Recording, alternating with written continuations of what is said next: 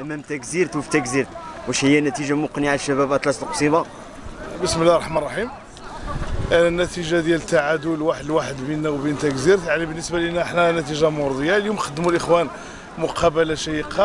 اعتمد المدرب على تغييرات على على فرقة اليوم في تركيبات الفرقه اليوم كانت تركيبة جيدة. وتقاتلوا الروح القتالية شوهدت على المقابلة بيننا وبين تكزيرت. وكنا في الحقيقة كان الماتش ديالنا لولا تسرع لولا تسرعات بعض اللعاب.